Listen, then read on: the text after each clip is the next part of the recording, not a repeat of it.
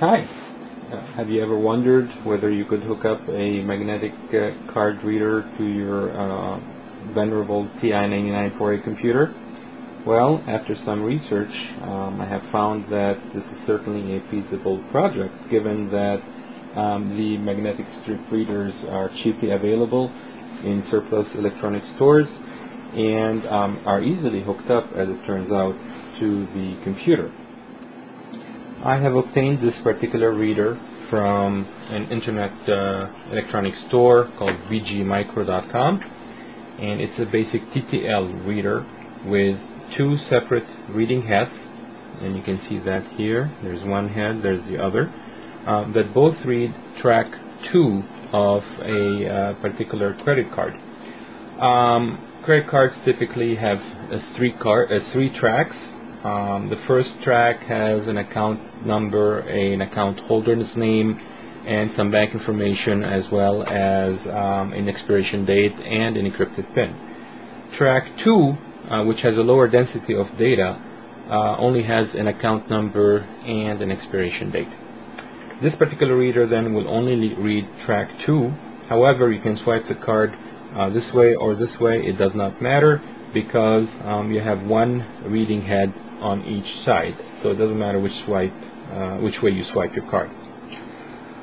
Hooking up this uh, strip reader is fairly simple. There are three uh, important um, connections that need to be made in addition to a power supply.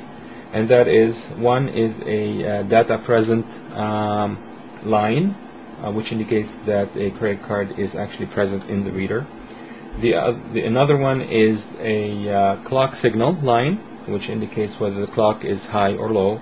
And finally, a data line, which basically will tell us what kind of data we're reading. And it's a 0 or a 1.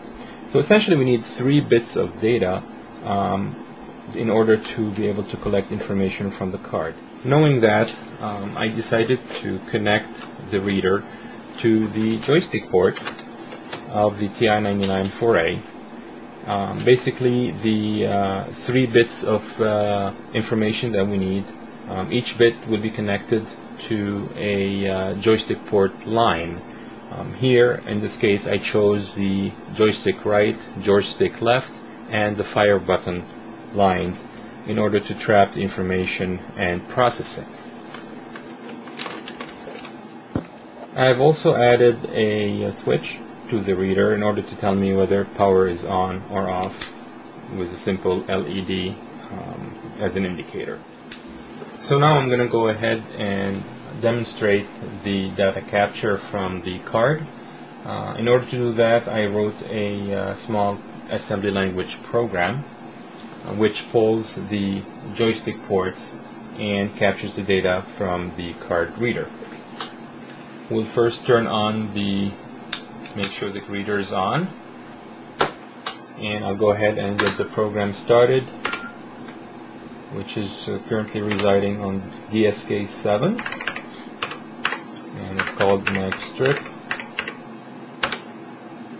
and now basically we have a blank screen. The program is waiting for the um, card to be swiped.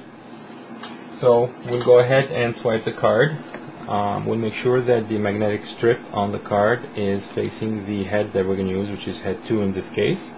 And we go ahead and swipe. And here we go. We got uh, the information on the screen. We got the credit card number, expiration year, and expiration month. Um, just for information, this uh, account is actually canceled, so don't get any ideas. And there you go. This is uh, a demonstration of the uh, magnetic strip card reader on the TI-99 4A.